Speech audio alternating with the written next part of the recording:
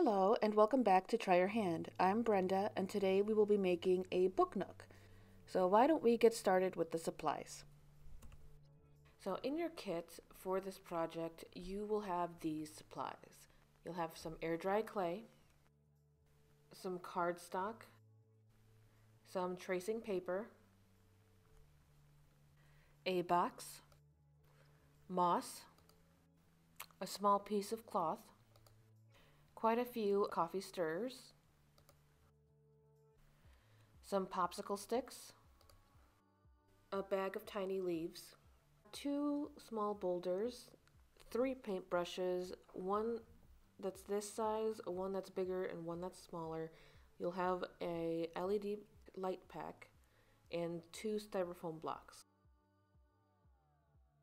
So you will have a foam sheet, cardboard or chipboard, some floral wire. You will also have some pebbles. So these are things that are not in your kit that you will need. So you'll need some wire cutters, you'll need pliers, and you'll need um, an X-Acto knife or a craft scissors. You'll also need some pencils. The first thing that we want to do is to get our box ready. So in order to do this, I have labeled each section of the box with letters so that it's easier for me to explain exactly which sections are the ones that are going to go together because we are going to be making this box a little differently than it was manufactured to be folded into. So as you can see, this box was made to be horizontal, so like the long side is on the bottom. But because we're going to be making a book nook, we want this box to be open on the long edge, that long skinny side. That way it looks like a book. So we will have to cut this box in a specific way before we can start putting it together. So as you can see, I am cutting out the F section. So I am taking off the two flaps on the side.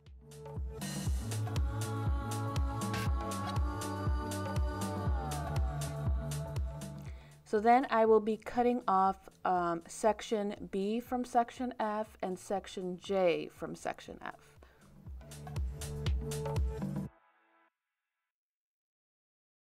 Once we have freed section F from the rest of the box, we will set that off to the side. This portion will be important for later, so you don't want to throw it away, just set it off to the side. Then I will show you how to start to glue this box together. So just to make it easier for you to see, I'm putting the box back to how it looked like, but with that F section missing. I'm going to be then gluing section I to section J because that's exactly where that section would be if section F was still where it was supposed to be. So when you're gluing these sections together, you will need to use some sort of glue, of course. I used hot glue simply because that was a fast like drying or curing glue, but you can use like a regular white glue or any other type of adhesive to secure this box together. If you use white glue, it will just take a little bit longer for it to dry, and you might want to put some weights on the sections that you glued down just so that it stays secure. On the other side, I will be doing the same thing. So I will be gluing section I to section J, and then section M and G, and E and K.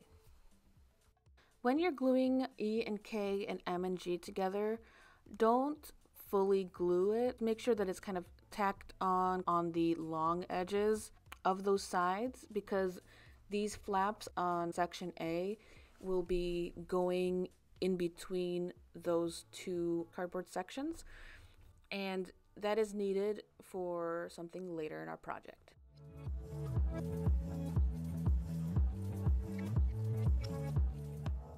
So now this is what your box should be looking like. You have flap C and D still up. If this was a normal box, we would fold it back down, but because we cut out section F, we need to secure sections C and D to section B so that the box is fully formed. And then of course the flaps on section A, as you can see, will be inserted into those pockets that I was talking about before. Section F is then now the window into our book nook.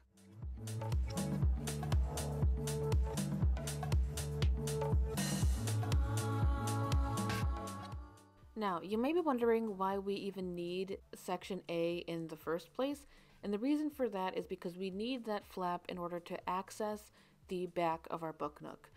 For the book nook, we are going to be making a section that kind of glows with light. So we have given you a little LED pack, and this back flap is will, where we'll be able to access that LED like battery pack in order to change the batteries and also turn on the lights.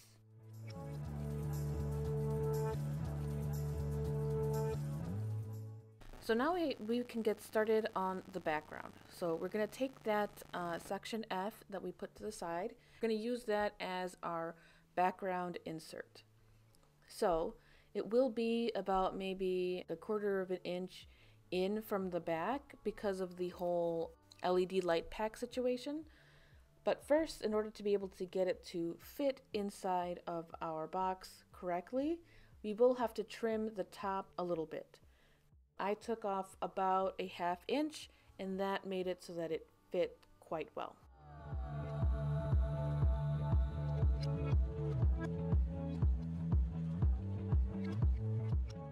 So as you can see here, we have that background and it's a little bit away from the actual back of our project, which is where we're going to put our battery pack. So for my background, what I want it to be is a night scene. So I want there to be a cutout for the moon, the sky, and a couple of hills with a little stream running down. So that is what I'm going to start to paint my background as. So the first thing that I did here was to mark out where my moon was going to be. My moon, I decided, was going to be in the upper left hand corner of my background here, and I marked that off. You do not need a compass for this part. You can take a cup or something that's the right circumference, or you can just draw your moon however you want. So I then marked that off, and when I did so, I took an X-Acto knife and started to cut out in that line. So I started by using a sawing motion in the cardboard to take out that circle. Of course, this is a knife, so be careful with that. So you only have a few paints, which means that you're going to have to mix your own colors, but luckily I can walk you through some of this. So I wanted a kind of navy blue, dark blue color for my sky. So I took a little bit of blue and a little bit of black and started mixing them. I first realized that I think I put a little bit too much black into my mixture and then I just took a little bit more blue and mixed that in and then I just started painting the entire cardboard surface. You don't really have to cover it all, uh, just about maybe like a third of the way down, more or less. Because if you're going to do hills like I did, really the hills are going to cover up the rest of it.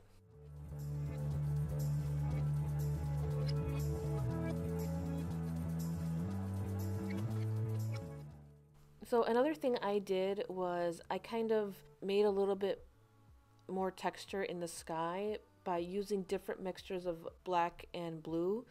So for example, I ran out of the original color that I mixed up and so then I mixed up some more, but it isn't quite exactly the same color. And that's fine. I just kind of dry brushed it on top of the original layer that I did and it ended up looking kind of cool. It kind of gave a bit of a different texture and made the sky look a little swirly. So my next thing was to make the hills. So I decided on three different hills at different heights. So I measured out my original cardboard piece and then with a pencil on my foam sheets, that's what we're using for these hills, I kind of just marked a rounded shape at the top. I wanted the rounded shape to be a little bit offset so that the highest point of that hill isn't right in the middle. I kind of just eyeballed it essentially. what I tried to do was to make sure that the hill wasn't covering my little cutout for the moon.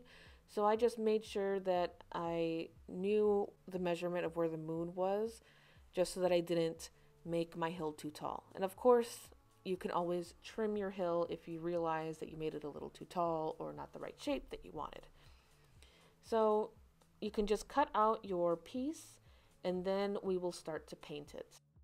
So after I have my hill cut out, I started to mix up the color of my hills. So in order to make green, you would mix the yellow and the blue together. I also want to make a slightly darker green, so I would add like a teeny bit of black and mix that in. If you want a more yellow green, you would add more yellow. If you want a more blue green, like a teal type color, you would add more blue. So get the color that you like and then you can start painting your hill. One thing I will mention is that this white foam doesn't absorb the paint as well, so you will have to do a couple of coats of this green color in order for you to be able to cover the foam correctly.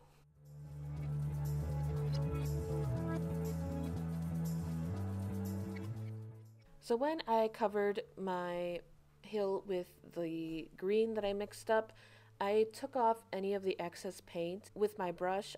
I did these long up and down strokes to take off any of that excess. What that does is it gives the hill a cool texture. It kind of makes it almost look like grass.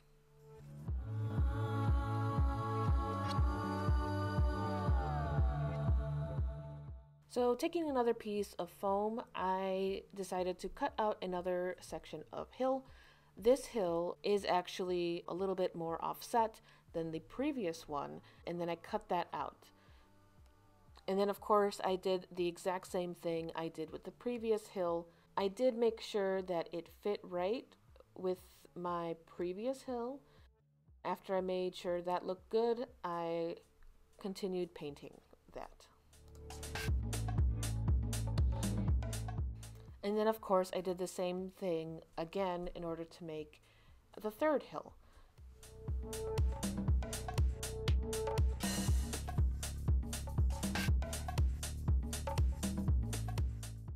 So now that we're done painting and we did our secondary coat of paint on all of our little mountains, what we're going to do is glue the hills onto our background. So I remembered which ones were supposed to be like on the bottom and which ones were supposed to be on top. I put some glue down and then I layered them. But before I glued it, I decided where I wanted my little stream to go. So I took some white paint and I painted on where my streams were going to go. So I wanted it to go in a sort of zigzag pattern. So I was kind of seeing where my stream would go. As a reminder, the mountain in the back, right, is the furthest out. So the stream has to be smaller on that hill at a medium width on the middle hill and then a little larger than that on the last hill.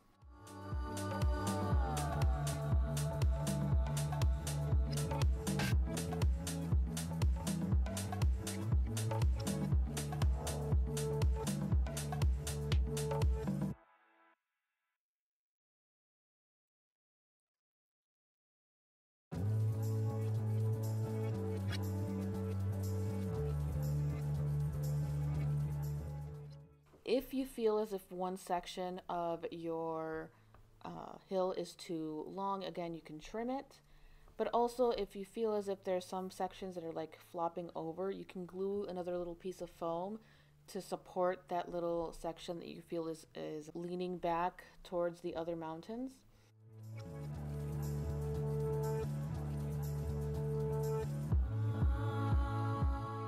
So once everything is now glued down, I then needed to paint the stream. I did paint the background, this white background, uh, so that the green wouldn't show through.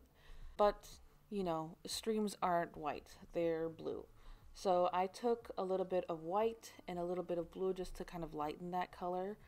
And with my thin brush, I kind of made little small strokes on the white to kind of make like little waves as if the water's like moving. I also use different like shades of blue. So I took, you know, blue with no white and I put that down and maybe a little bit of a darker blue and put that down as well and a little bit of black as well just to give the stream a little bit more depth and to make it look like the like that white that does show through a little bit is like the light of the moon making the water sparkle. Now that you have glued down your mountains, what you want to do is add some detail to your hills. So right here what I'm doing is just covering up some extra spaces that I thought were a little too white. I'm doing like a third coat on the hills and then painting the edges.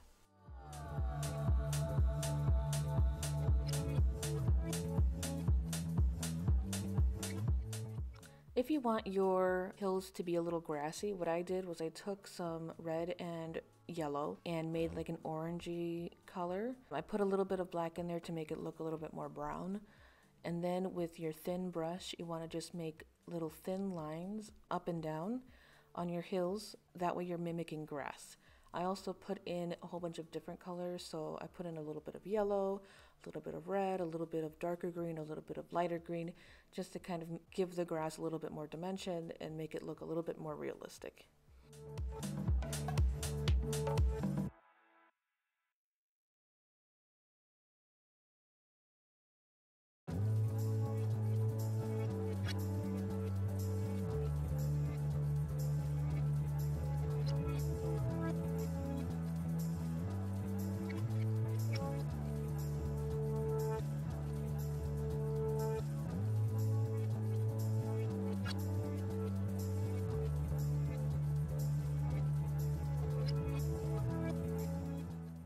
If you want to make little trees or bushes, I used a little bit of brown and with my thin brush, I kind of made little tree trunks all around where I wanted my trees to be.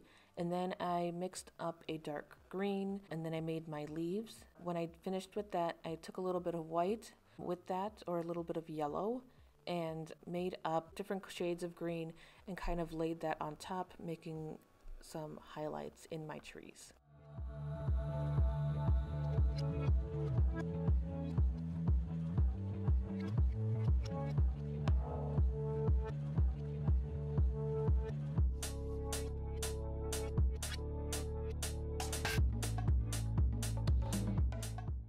For this last hill, this hill is going to be the one that's going to be covered with the tree.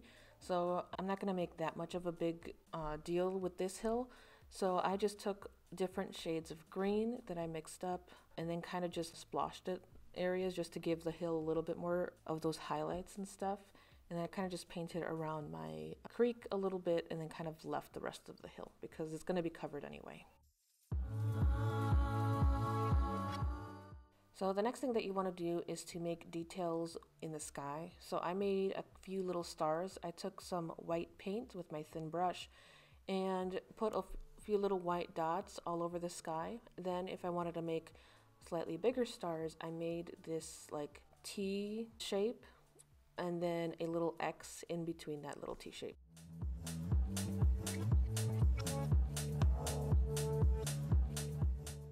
So once we're finished with our details, we can then set this off to the side. So for this next part, um, we are then going to have to glue on our tracing paper to make like this diffusing layer over the moon to make it look more like a moon. So I'm going to take my tracing paper, I'm going to fold it in half, and then I'm going to cut it to shape. I did not cut it into a circle. I just kind of cut it into a square a little bit bigger than the circle itself. So I just kind of eyeballed it and cut it. Once I've cut it, I will then put some Elmer's glue down around the circle and then glue down my tracing paper. I then also put glue in between the different layers of tracing paper just to make sure that both of them are stuck on there.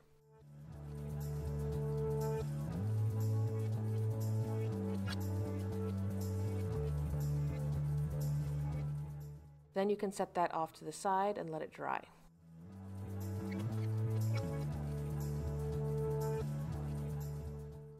Okay, so for the walls, we do need to cut them out. You either should have a template for the side walls or you have like an extra box and you can just cut off the sides off of that extra box.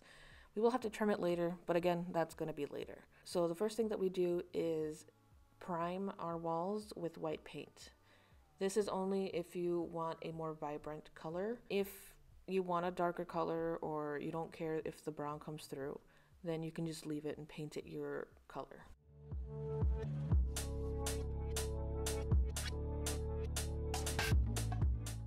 So once you're done priming, you can then decide what color you want your walls to be.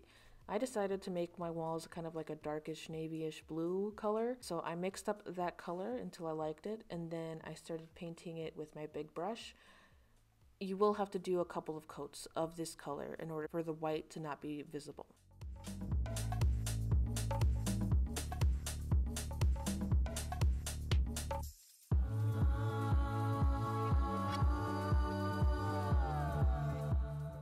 Once you have finished your second coat, what we're going to do is then decide how we're going to decorate our walls. I decided on white stripes. So I kind of just eyeballed it, to be honest, and took my small square brush and just very carefully drew white lines down with the paint. Then I took my small thin paintbrush and went over it a few times until the white was opaque enough for me. If I messed up, if I kind of went a little bit too thick on the paint, I did go back in with that blue and kind of covered up those sections where I messed up. I did the same thing with both walls.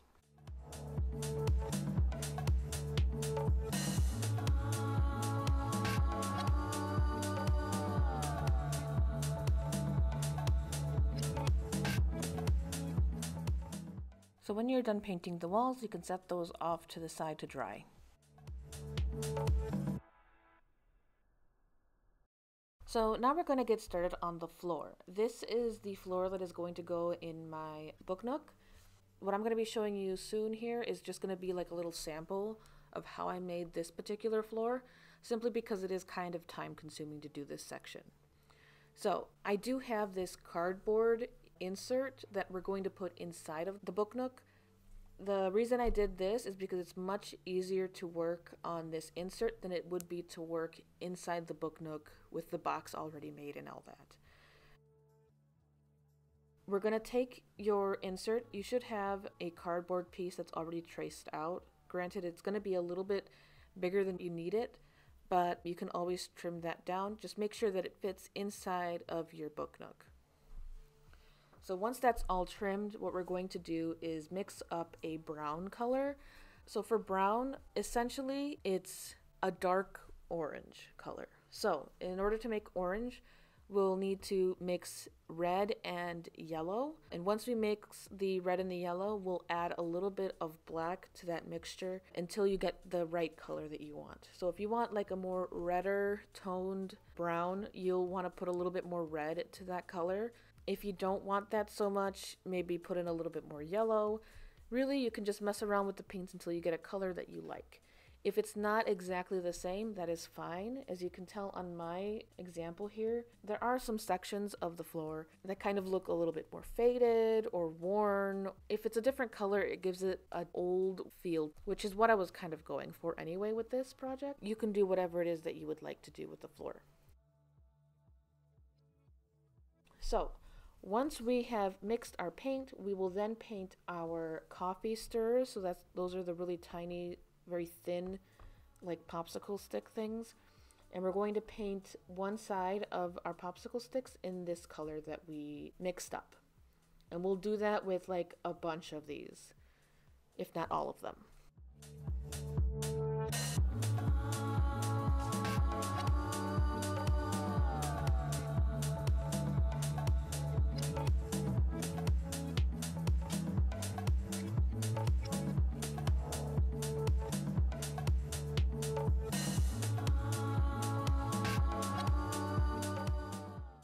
So once you have finished painting all of your coffee stirrers, we're going to then cut our coffee stirrers into little like floor planks. So I believe I cut mine about two inches long And I'll do this with quite a few of my coffee stirrers, though not all of them, and you'll see why soon. I would suggest maybe doing like a good maybe 15 or something with that particular measurement. And then when you're done, you can come back. So in order to cut these, I did use an X-Acto knife. What I did with that is I kind of just marked off where I needed to cut and then used the X-Acto knife to like score where I wanted it to break and then I kind of broke it a little bit. Though if you want like a more precise cut, I would say score one side and then turn it over, score the other side and then kind of break it. It like breaks weird if you don't do it that way. If you do have a sharp enough X-Acto knife, you can kind of like shave off any like uneven edges with that knife. Also, if you have a particularly like sturdy pair of scissors, you can also just use scissors to cut them too. Like, but that's only if you have like really strong like craft scissors.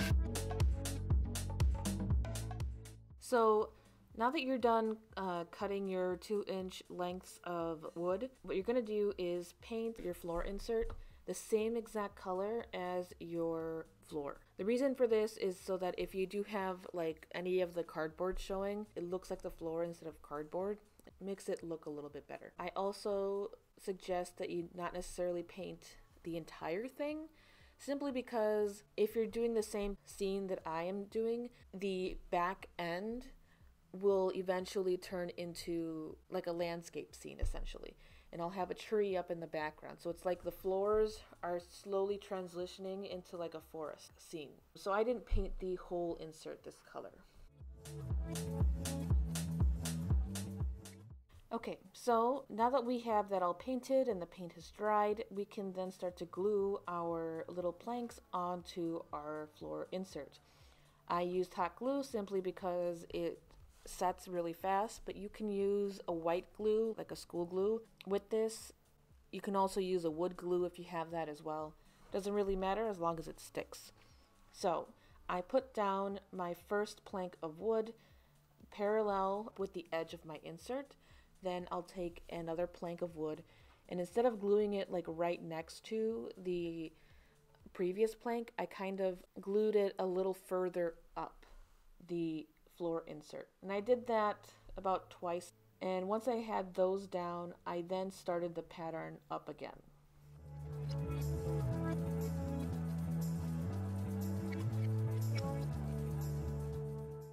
So once you have your pattern established, you then have to fill in the gaps. So right now I'm trying to fill in the gaps towards the front of my insert. So I took the little leavings of my previous cuttings when I was cutting up the two inch strips and I kind of glued one right up against that one section that had some wood missing. After that, I took my knife and I kind of trimmed off the rounded edge of my coffee stirrers. With the other longer pieces, I kind of just measured how long of pieces I needed. I cut those out and then glued them in place.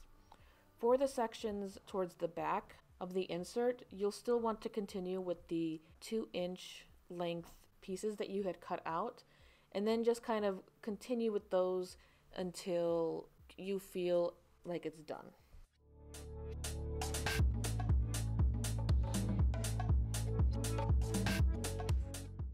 When you're done with gluing that down, if you have some sections of your coffee stirrers that haven't been painted or spots where you want to make it a little bit more worn, you can go in with your paint and start kind of dry brushing certain areas. So if I had any exposed wood, I went in with the original color and kind of painted that.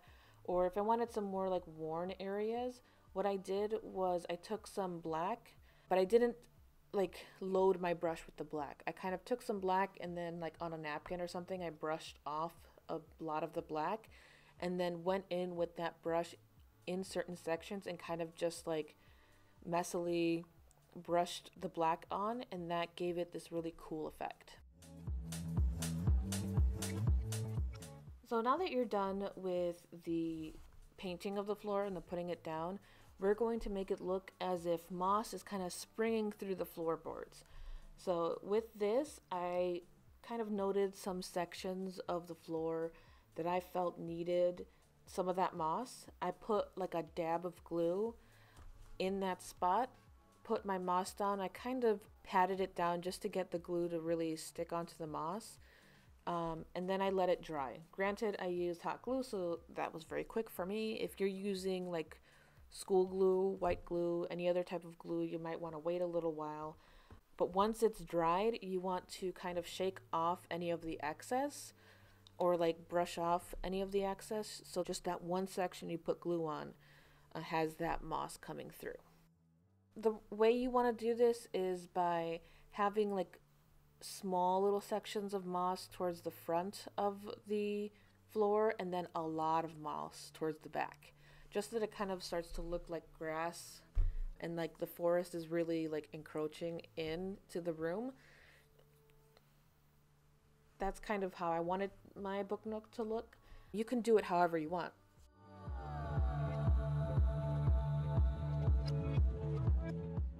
So when making knickknacks, you can make knickknacks really out of anything, but one of the things that we gave you that you can try and make knickknacks from is clay.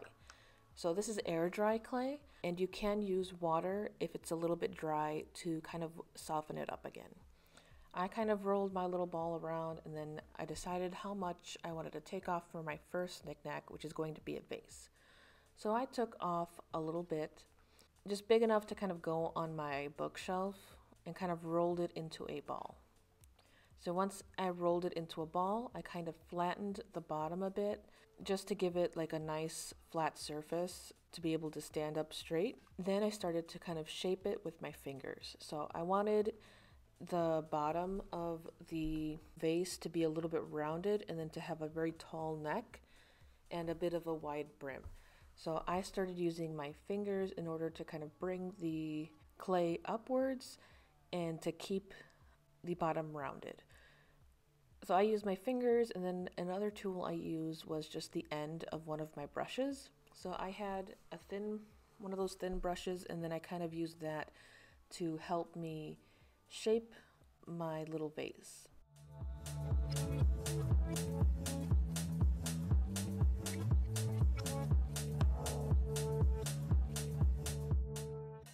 Once I got it more or less to the shape that I wanted, I decided to then start to make the lip of my vase and I used the end of my paintbrush here to make that hole. So I stuck the end of my paintbrush at the top where the mouth of the vase would be not all the way down, just a little bit of the way, and then use the end of my paintbrush to kind of push the sides of the mouth of the vase open just to kind of give it that nice little lip that vases tend to have. If you start to see that your vase is starting to crack, you can use a little bit of water to kind of smooth out those little pieces. I saw here that the neck of the vase was not as long as I wanted it to be, so I used my fingers to continuously shape and prod this clay to make it look how I wanted it to look.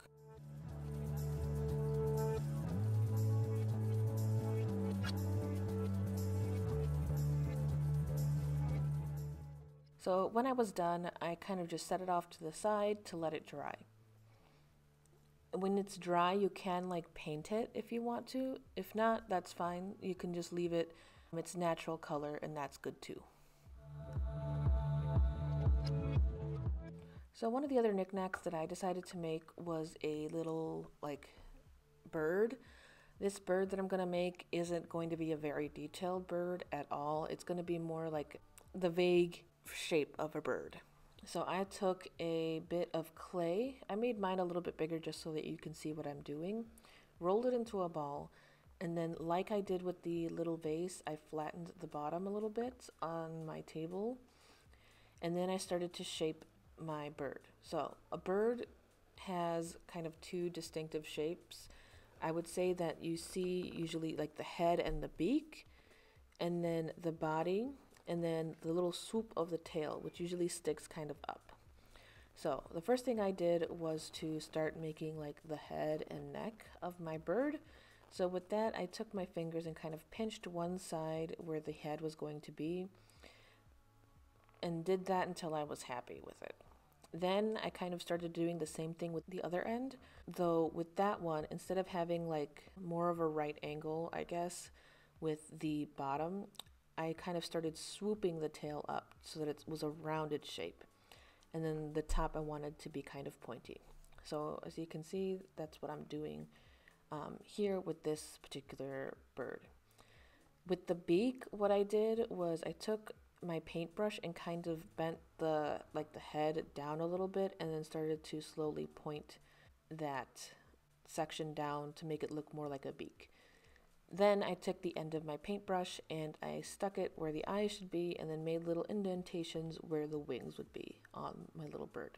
It's just a very basic shape, which should be easy to do. Of course, you can do whatever it is that you like with this clay. Be as creative as you can be.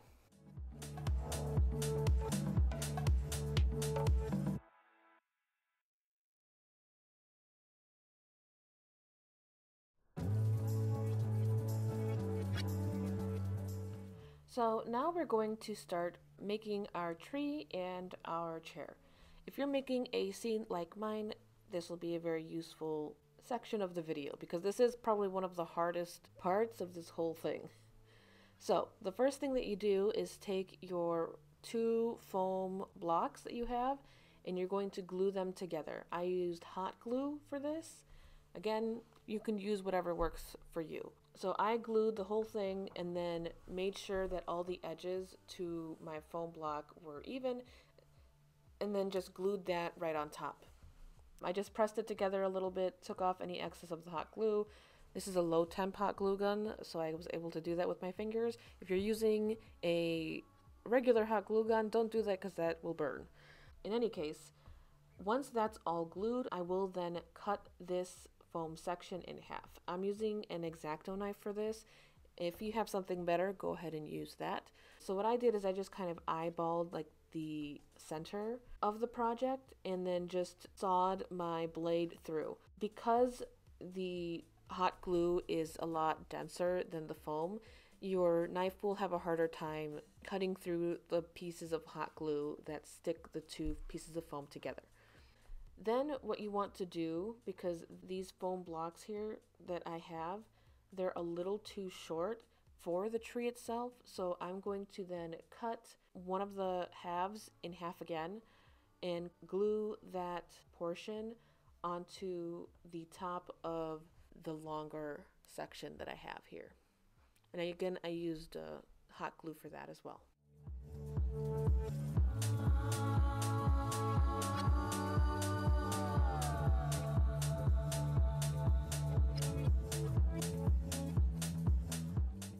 As you can see, those two sections that I have will in fact be tall enough for my book nook.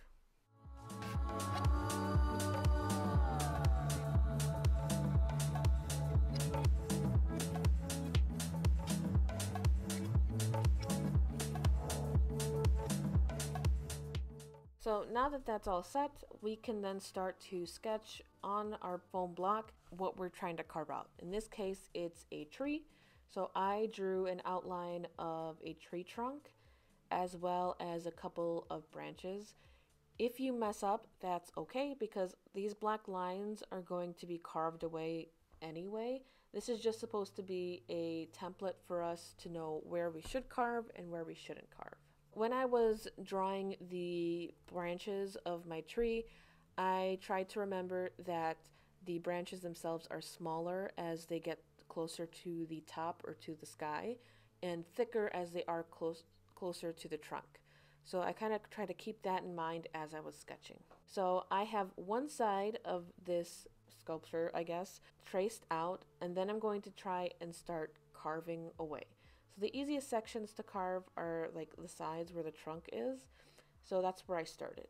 If you're using an X-Acto knife like I am, there is a particular technique that you should be using with this particular foam so that it doesn't like start like bubbling off. You kind of want thin like sheets of it coming off. So you do want to start off with like a, a brand new blade and then use a sawing motion when you're cutting. That way it comes off in little sheets instead of like bubbling away as this stuff is want to do. So once I started getting to the top, what I started to do was to start carving my branches. Because I haven't really drawn out any of the other sides, what I want to do is just to kind of mark off and start to round those sections that I had. So I just kind of cut out little bits here and there, kind of traced my lines with my knife to cut out little sections. If it didn't get all the way through, that's perfectly fine because on each of the sides we're going to try and carve off different sections. This is very hard to explain, but hopefully the video is clear so that you can see what exactly I'm doing. As you can see, you know, I'm just carving off little pieces. I'm not going all the way to the other side. This is just to help me see it more in three dimensions instead of just as a 2D, you know, drawing on this foam block.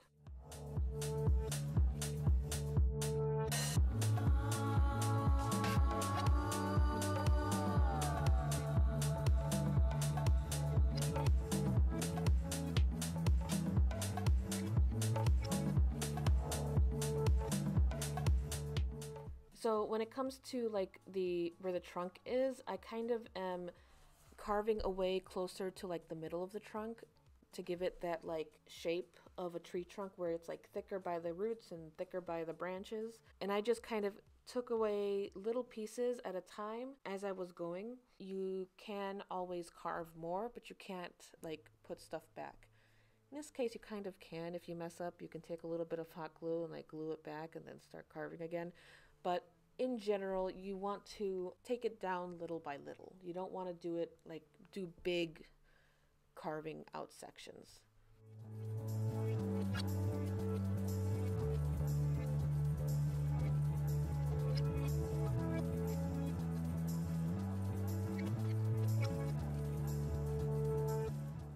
So at this point, I started to trace out my tree from a different side. As you can see, I'm trying to make the trunk, but also if you are ending one of your branches at a side, you kind of want to draw that as a circle because branches in a cross cut are round. So I just kind of drew a couple of circles and made a place where I maybe wanted a branch and had that as my template for carving. So when you're carving, you want to take away all of the negative space. So all the space that you want to be empty, you want to take all that foam in those sections away. So that's what I'm doing here. I'm trying to round out my trunk. I'm trying to take away foam that's in the places where there's supposed to be air. And you just kind of keep taking little by little until you get the look that you want. So when I would get to the other sides of this block, I would kind of trace out where I wanted branches on that side and then carving those out as well.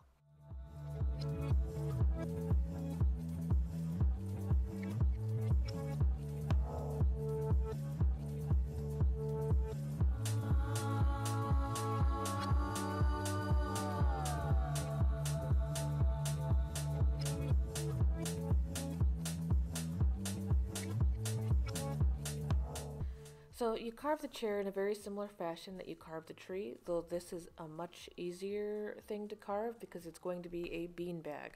Um, you can carve whatever chair you want. What I did was I drew out what the shape of my bean bag was going to be, more or less, and then I started to cut off big chunks and then started to carve around to make sure that I had a rounded shape.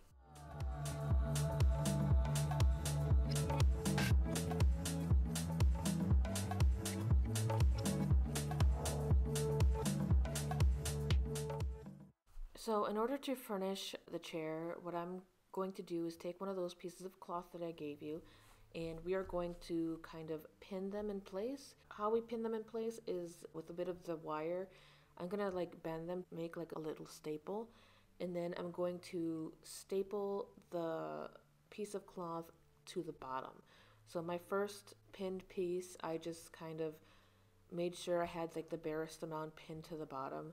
And then I started to kind of fold and pleat the cloth around my shape in order for it to hug it and to kind of make it look like a couch or something like that and then continue to pin sections into the bottom.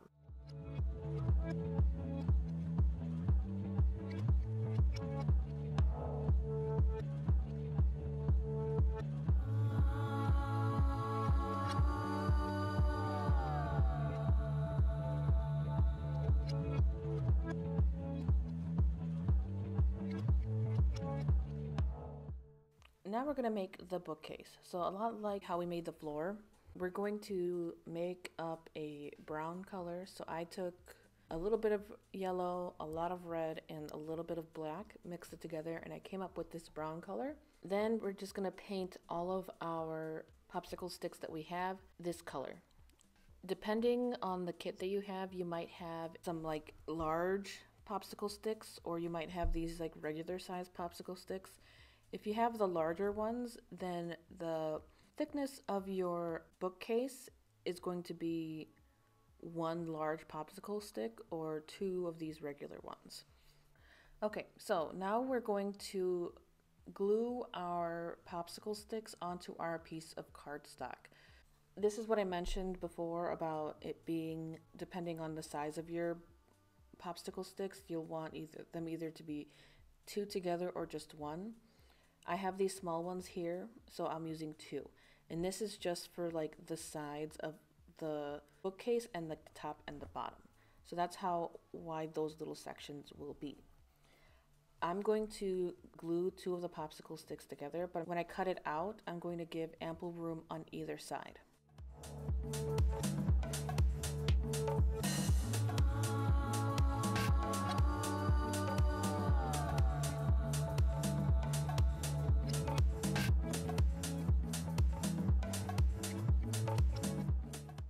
So remember that with these popsicle sticks, you'll want to cut off the rounded edges. You can do this with an X-Acto knife, like how we did with the floor, or you can use like a heavy duty craft scissors to like cut the popsicle sticks.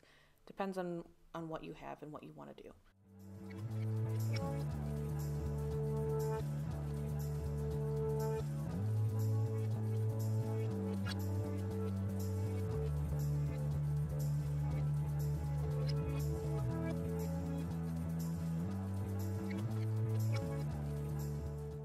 So I used hot glue to glue these popsicle sticks onto the cardstock. You can use whatever. I used the hot glue because it was quick to dry. So when I was gluing these on, I just kind of glued them side by side.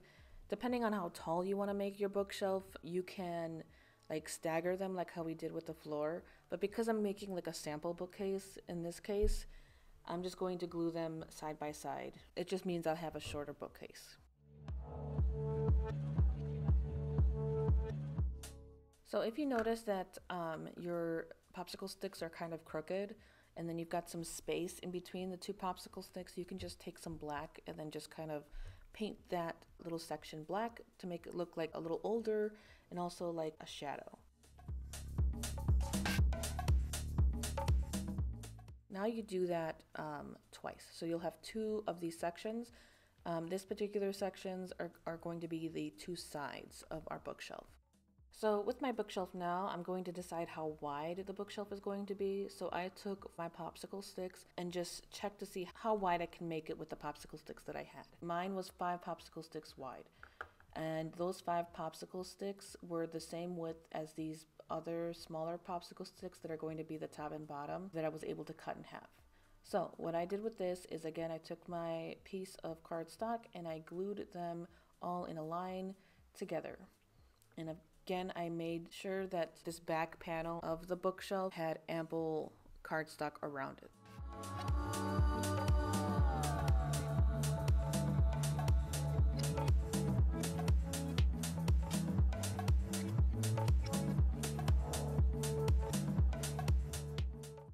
Then I did the same thing with the popsicle sticks that are going to go on the top and the bottom of my bookshelf.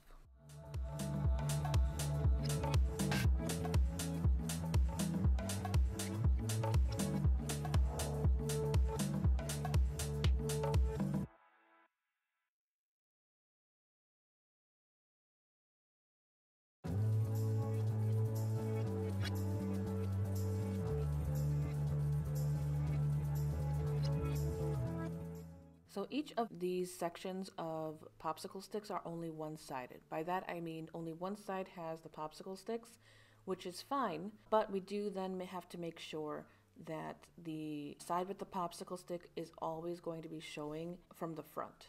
So this uh, section of popsicle stick that I have here is going to be the side that's the furthest back on the bookshelf. So I'll be gluing it so that the two popsicle sticks are kind of touching. So I'll be gluing that corner with hot glue and I'll be trimming off a little bit of that excess on the side of the popsicle stick that's longest. So once I trim off that excess, I'm going to then glue that corner down and then I'm going to hold on to it so that it sets. After that, I'm going to then take the white cardstock that is attached to the back panel of the bookshelf and fold it upwards and glue it to the back of the side panel of the bookshelf.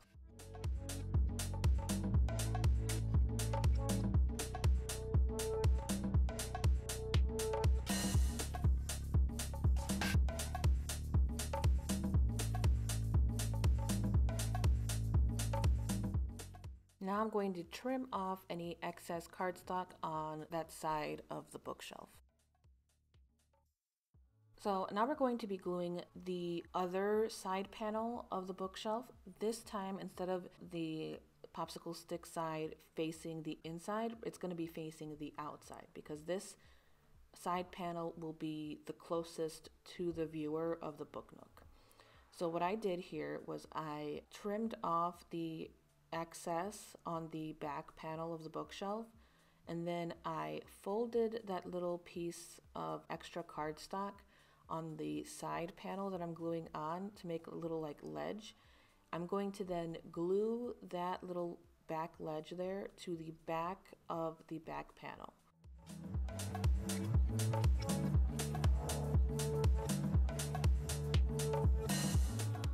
So now I'm going to be gluing the top panel of my bookshelf on. For this section, the wood part is going to be like on top of the bookshelf. I trimmed off both the long sides of this section flush to the popsicle sticks and I kind of folded the short sections of the cardstock down. I also trimmed a bit of the cardstock that's already onto my bookshelf form to make separate flaps.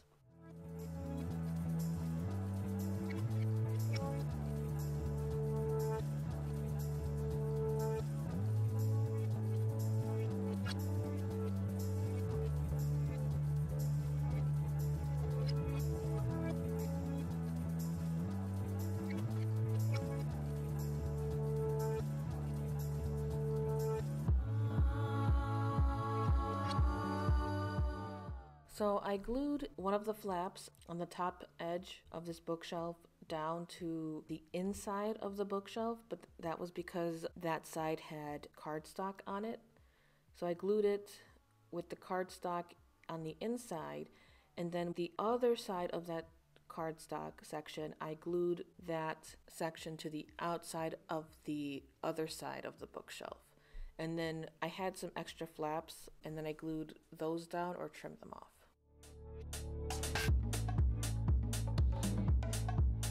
Música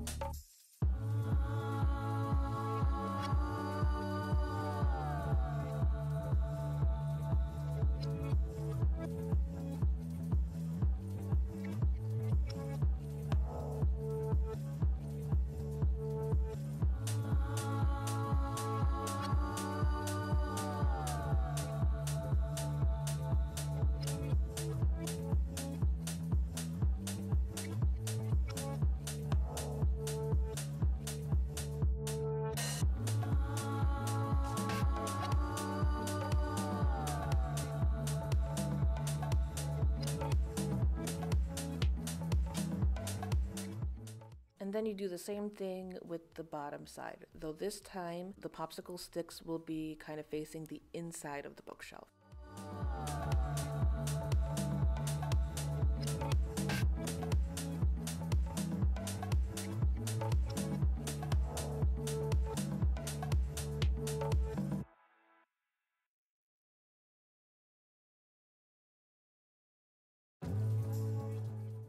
To make the shelf, what I did was I cut a popsicle stick to size to fit the inside of my bookshelf.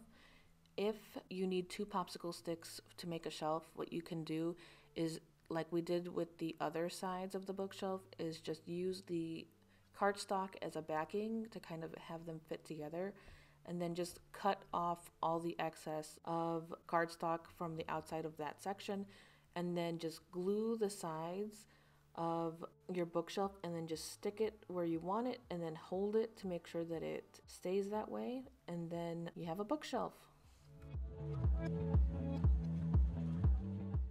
So now that you're done with that, um, you want to paint all these white sections brown just so that the white cardstock doesn't show through on your project here. So I just mixed up a new brown color as close to the original brown color as I could and then I just started painting it all over.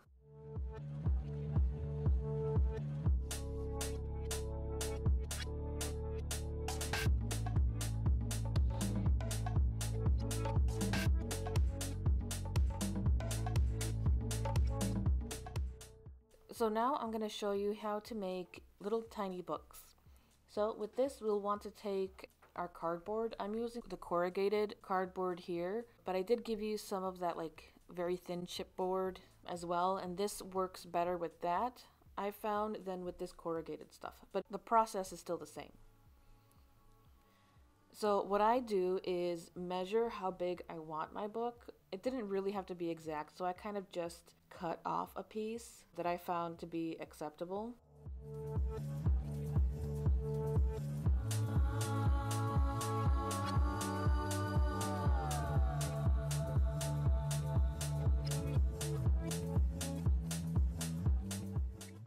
And then what I did was I kind of bent it in a little bit on one side and then maybe like a fourth of an inch, maybe a little bit less than that.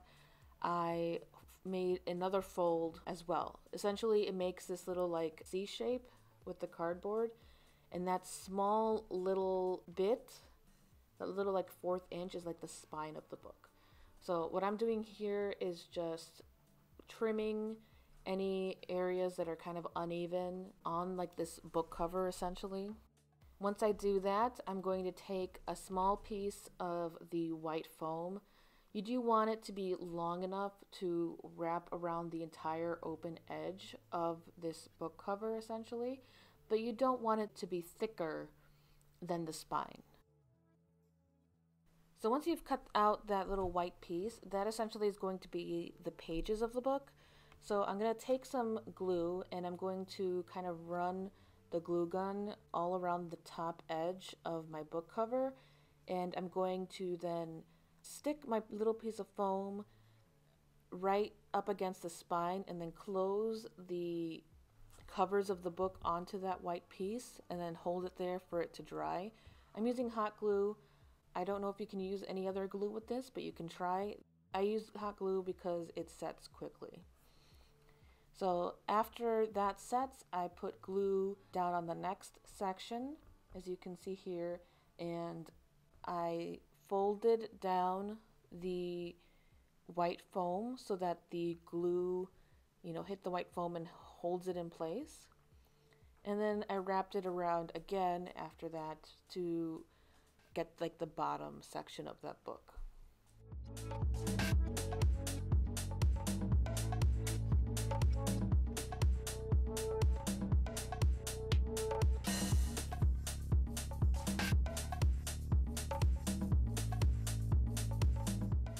So once you have all of your little books all made, you'll want to paint the book white. The reason for this is because the cardboard, as it's a brown, you won't get very nice bright colors that show through that. So if you paint it white and then go in with your brighter colors, the colors shine better. The red isn't as muddy as if it was if you were to paint on just the brown cardboard. That's what I'm doing here is I'm just painting it all white and then once I'm done painting everything white, I'll then start painting all my books all the different colors that I want it to be.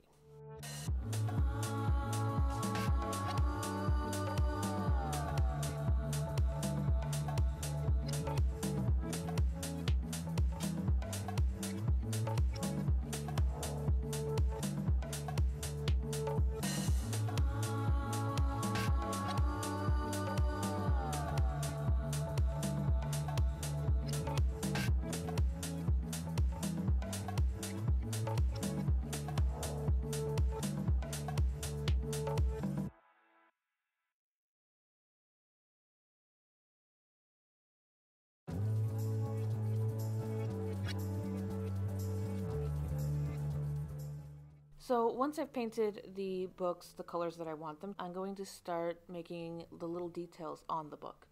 So I wanted to make my books look a little bit like old fashioned. And if you see old fashioned books, sometimes they have these little like gilded lines on the spine. So I kind of was doing that with some paint. And instead of like gilding, because I don't have any gold paint, I just use some black and white to make those little lines with my thin brush. And as you can see, that is how my lines turned out. And I kind of did that with all of my books. I also kind of made little squiggles to make it look like the title is written on the side of the book. I have zero control over that tiny of movement, so I couldn't write down an actual book title. But if you do, that would be even better after I've painted all of my books and put little details on, I can then put them on my bookshelf. So I essentially kind of put them in my bookshelf and arranged them the way that I wanted them to look. And once I found a good arrangement, I then took some glue and I secured them onto my bookshelf. So I just took a little bit of hot glue and stuck it in my bookshelf. If I had like a pile of books that were glued together, I would glue those together first and then glue that whole little pile onto my bookshelf.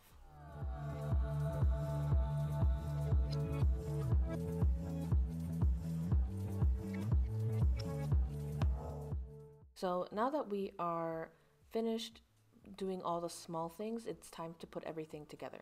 So in order to put this together, the first thing I do is cut out a section of panel L on my box in order to be able to access the back of the back panel that we're going to be putting in. So what I did first was trace section A to make sure that I don't cut past that line when I'm cutting out my sections out of L. I decided to cut a pretty big section that is helpful for when you are gluing down your back panel.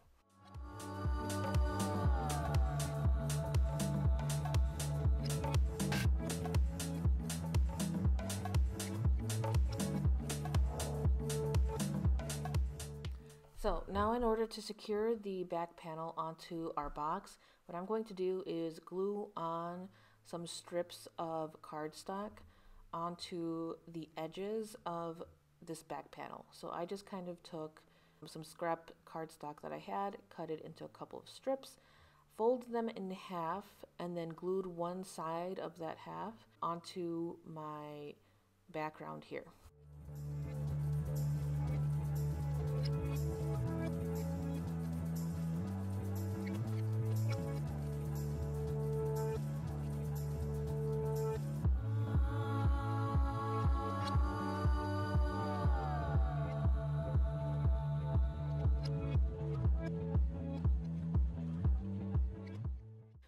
Now that we're done with gluing that, we are now going to insert our back panel into our box. So what I did was I pushed that back panel all the way back and then through that hole that I made on the back, I'm able to line up this back panel and make sure it's straight. Then we're going to glue down the extra flap onto the sides of our box.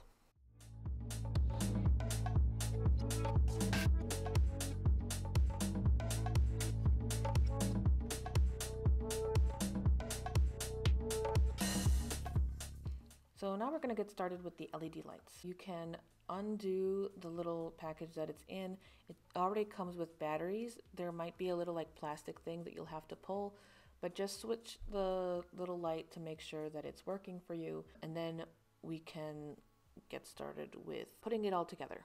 In order to make the string of lights for the moon, I have to first make the frame in which I will be wrapping the LED lights on. So I took a length of wire and I wrapped it around so that it was a circle about as big as the moon was. And then I left that to the side when I was done. So in order to control like the big old long wire that the LED lights are in, I folded the LED wire in half and then twisted it in order to keep it locked together. I'll use that shorter length to do the project. After that, I marked off on flap A of the box um, where I wanted to put my ring of lights.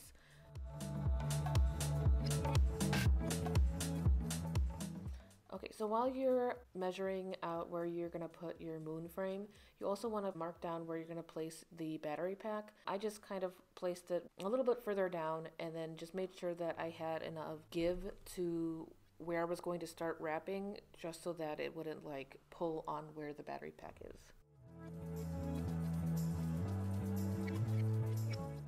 So after I marked where I wanted my little moon piece to go, I took another small length of wire and then I made like little feet for the frame for the moon. So I kind of just took the little piece of wire, bent it in half, twisted one section of it together, and then attached that section to that moon frame that I had. And then I bent one end up a little bit so that it was like at a more or less 90 degree angle so that I can glue that section down to the box. And then I made a second one of those.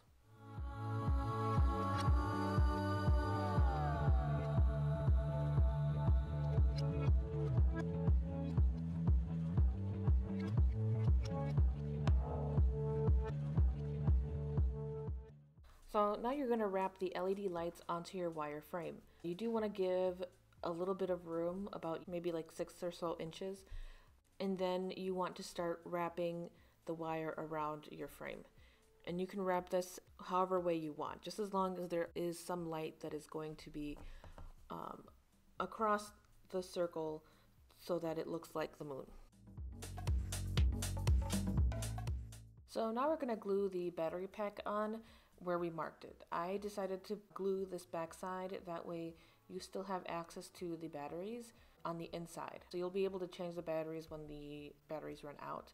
So you just place it there and then let it set. After that, we are going to place the little feet of the moon frame. For the moon frame, what I did was I put a glob of hot glue onto the cardboard where I marked it, and then I put the little feet down. And then after that, I put a piece of cardboard over the foot just so that the wire would stay where it's supposed to stay. And then I did the same exact thing on the other side as well.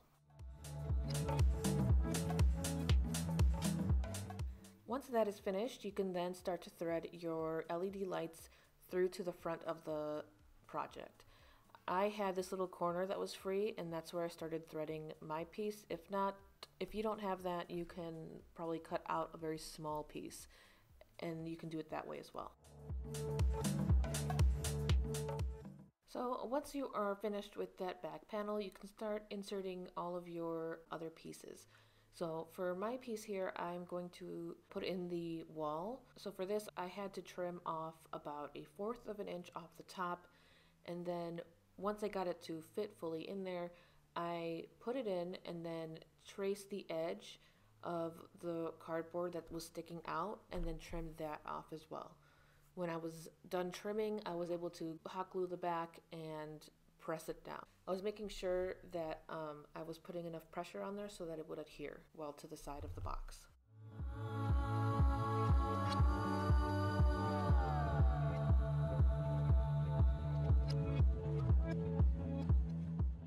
Repeat these steps with the other wall and with the floor as well.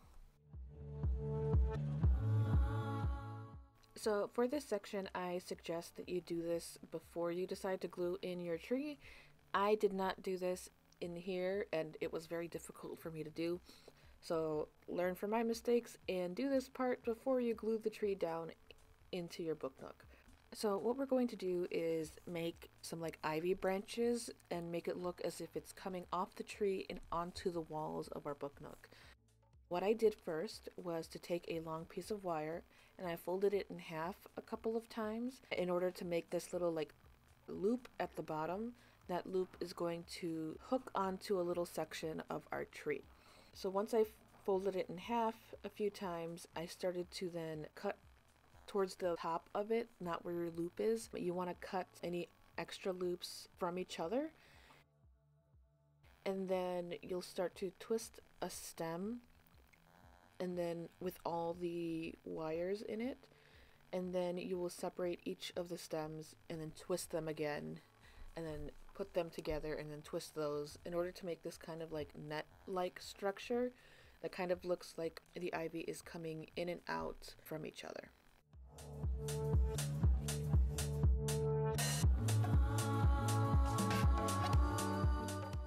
So now I'm going to make the little hook in order to hook the loop at the end of my ivy to my tree. So I just did it pretty much the same way that I made the little feet for the uh, moon frame and then had a couple of free ends in order for me to stick those ends into the styrofoam of the tree. If you have branches that are kind of either small enough or if you make your loop wide enough, you can kind of just put the loop of your ivy stem onto that branch and you can then glue it down with some hot glue or something similar.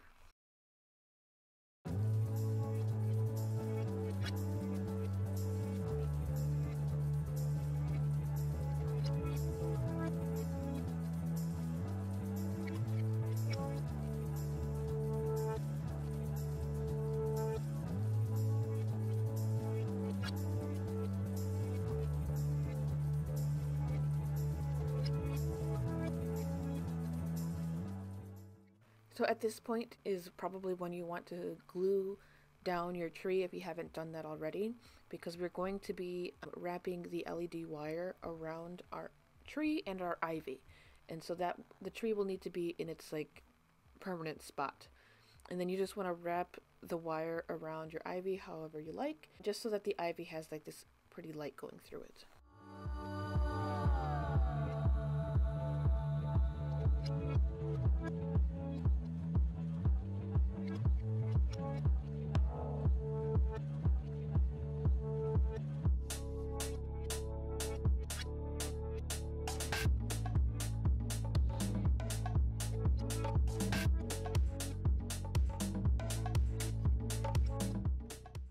So once you have all the LED wire already wrapped onto your ivy, what we're going to do is we're going to set it up where we want it to, stay. So I took some pliers and I kind of bent the ivy stems around so that it would stay up against the walls.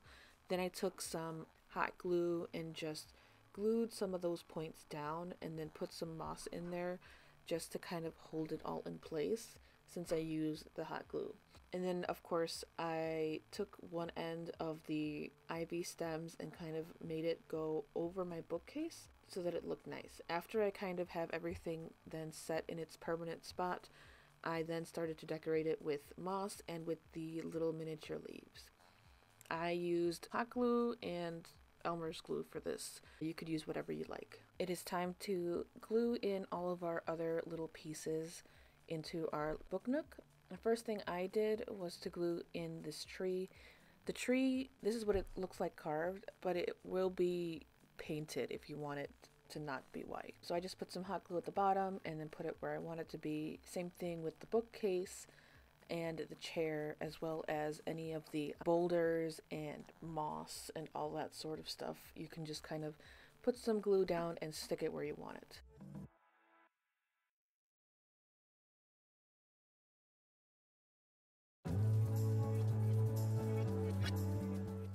For the moss and for the leaves, I found that the best glue for that was just regular white Elmer's glue. Um, so I just put some Elmer's glue down, took a brush, brushed it around a little bit, and then just kind of sprinkled the leaves down or the moss down and then kind of pressed down on it just to make sure that it was nicely glued on.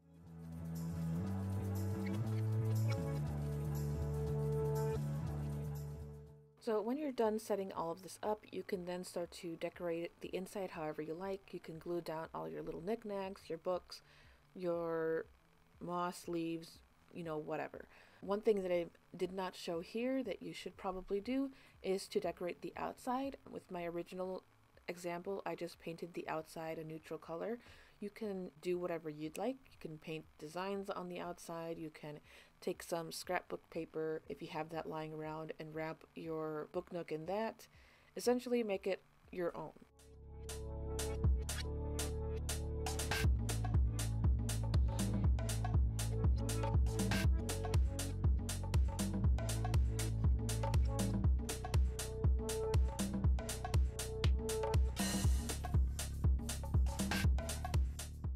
Now, this is what your complete book nook should look like, at least if you decide to follow my template. You can do, of course, your book nook to look however you like.